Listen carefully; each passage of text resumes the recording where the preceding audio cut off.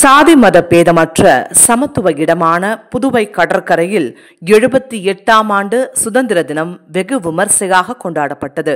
இதில் புதுவையின் முதல்வர் ரங்கசாமி கலந்து கொண்டு காவல்துறையினரின் அணிவகுப்பு மரியாதையை ஏற்றுக்கொண்டு தேசிய கொடியேற்றி நிகழ்ச்சியை தொடங்கி வைத்தார். அதன் பின்பு முதல்வர் சுதந்திர தின உரை வழங்கினார். அதன் பிறகு காவல்துறையில் சிறந்த பணியாற்றியவர்களுக்கான விருது வழங்கப்பட்டது. மேலும் பல பிரிவுகளில் சிறந்த பணியாற்றியவர்களுக்கான விருதுகளும் வழங்கப்பட்டது. இதன் பின்பு மாணவ மாணவியரின் வீறு நடையிட்ட அழகிய அணிவகுப்பினை அனைவரும் பார்த்து ரசித்தனர். புனித சூசையப்பர் புளூனி பெண்கள் மேல்நிலைப் பள்ளி லாசுப்பேட்டை புதுச்சேரி.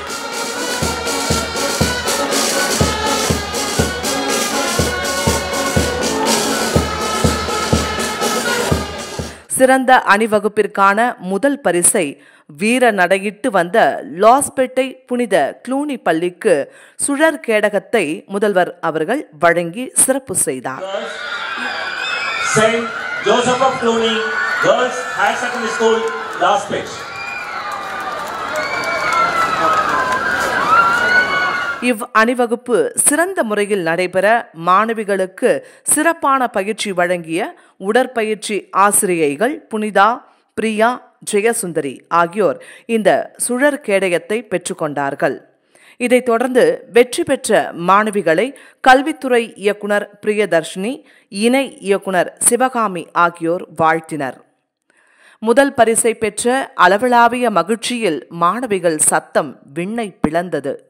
இதுகுறித்து பள்ளி முதல்வர் அருட் சகோதரி ரோஸ்லின் கூறும்பொழுது கடின உழைப்பிற்கும் சிறந்த படைப்புகளுக்கும் மிகச்சிறந்த உதாரணம் எங்கள் கல்விக்கூடம் என்று பெருமிதம் கொண்டார்.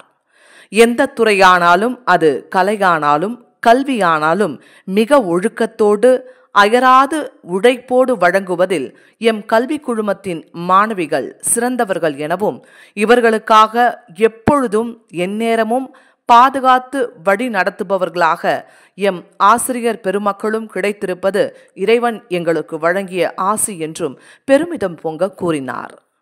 வெற்றி பெற்ற மாணவிகளுக்கும் அவர்களை வழிநடத்திய ஆசிரியைகளுக்கும் எல்லாம் வல்ல இறைவனுக்கும் எங்கள் நன்றி என்றும் அவர் தெரிவித்தார்.